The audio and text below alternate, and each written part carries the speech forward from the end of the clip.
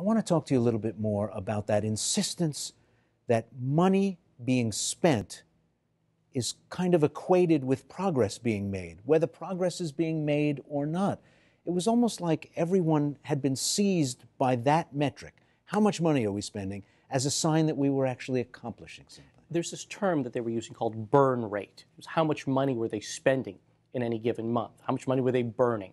And when when USAID reached the figure of $300 million a month, there was great celebration at their offices in Kabul. It was a point that was briefed up in meetings with members of Congress and others because they equated spending with effects. And, and, and that couldn't be farther from the truth.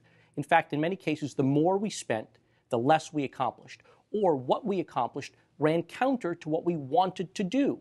Um, as we put more money in, we fueled corruption, we fueled inefficiencies, we fueled governmental theft and laziness, um, we fueled contractors uh, skimming proceeds and, and, and, and layers of subcontracting, as opposed to thinking that in some cases small can be beautiful, understanding what the Afghans needed and how to deliver to them. In many cases, what the Afghans wanted was not a, a huge pallet of dollar bills dropped on them, but, but a sustained American commitment.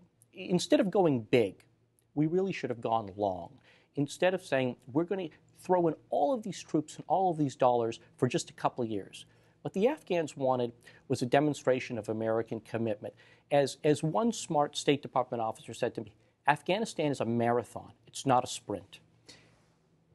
If you wanted to push back against that culture, you were either discouraged or transferred or simply not listened to. Any attempt to address that metric was bound to failure, it seemed, from your story, from your reporting.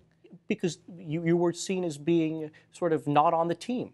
Because uh, the, the, the, the, the belief at, at all levels of, of the government was that spending meant you were, you were moving forward with the mission. So those who questioned that logic, pardon me, were inevitably either shunted aside or they just were ignored. And nobody wanted to really focus on the gory details of how that money was getting wasted, how, in many cases, things like new tractors bought for Afghan farmers were simply driven over to Pakistan and sold for cash, or how fertilizer handouts were used to help sustain farmers' poppy fields as opposed to their wheat fields.